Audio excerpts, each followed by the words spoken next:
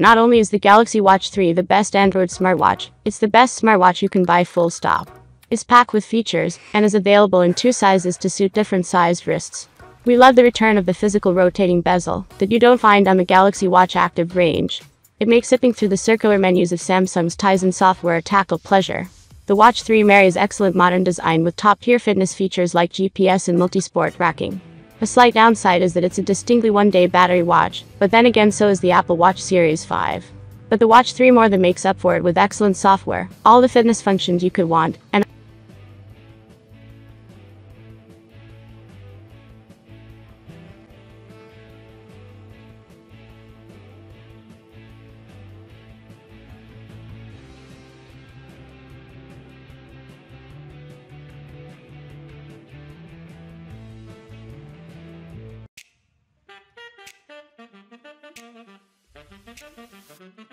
A Fitbit Versa 3 is a superb smartwatch, especially if your focus is more on fitness than general smart features.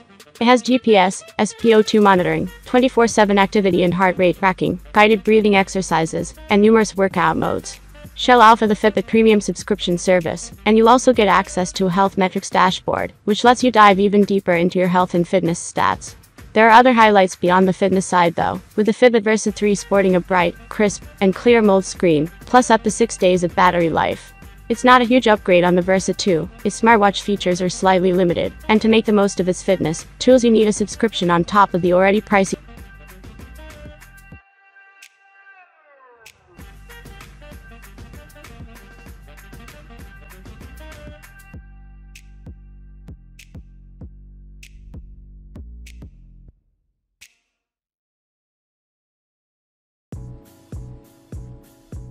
Hey, my name is Roy Choi. I'm an entrepreneur.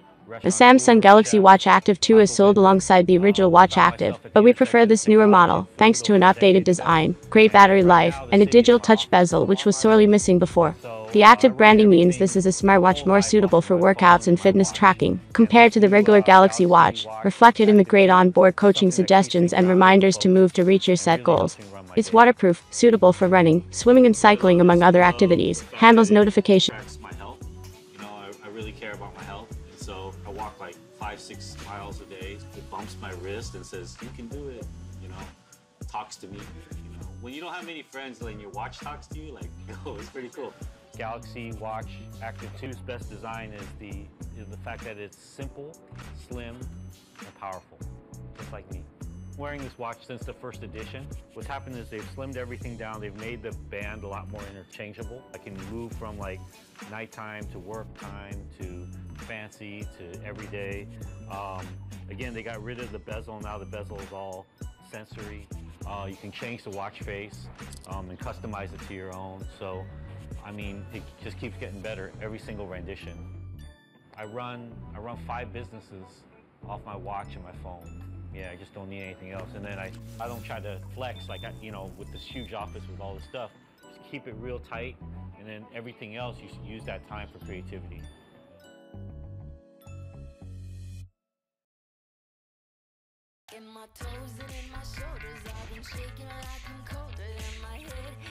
Fitbit makes several smartwatches, but the cheapest of the bunch is the Versa Despite its price though it's still a great Android watch pick thanks to a raft of features, well, it lacks built-in GPS, you can connect it to your phone to record run routes, and there's all the sport tracking features you'll find on the Versa 2 or Ionic.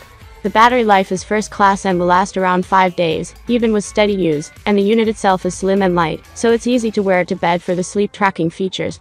It lacks NFC, so you can't use Fitbit Pay.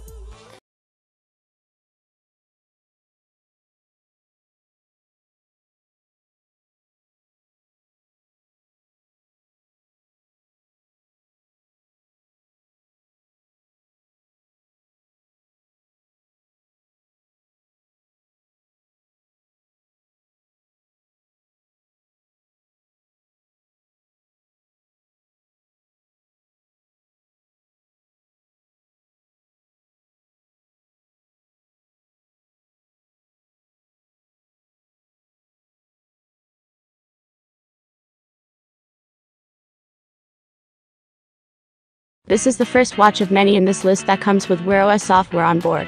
It's the Fossil Sport, and it's arguably one of the first watches from the company that can keep pace with the likes of the Samsung Galaxy Watch and Apple Watch. It's lightweight, so it's comfortable for a variety of exercises, and it's built with fitness in mind with GPS and an accurate heart rate monitor included. Despite its sporty focus the design still feels premium, and it's one of the most powerful devices on this list, as it comes with the latest Qualcomm Snapdragon Wear 3100 chipset inside.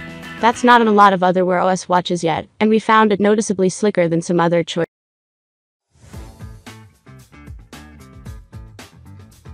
The TicWatch Pro 3 is a good all-rounder that doesn't necessarily excel in any one area.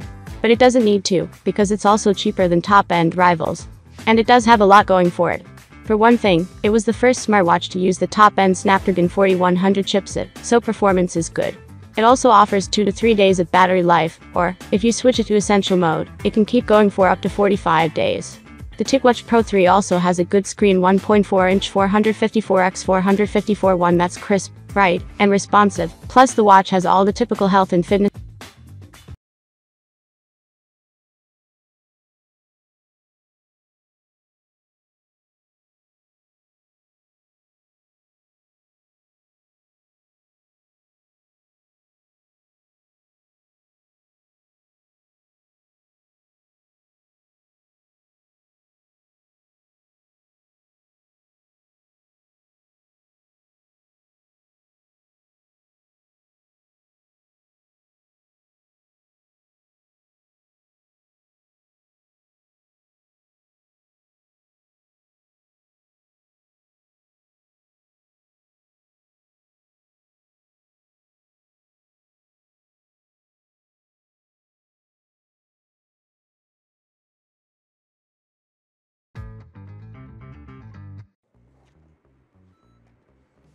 Now it's time for one of the cheapest devices on this list, and it comes from Chinese manufacturer Mobvoi.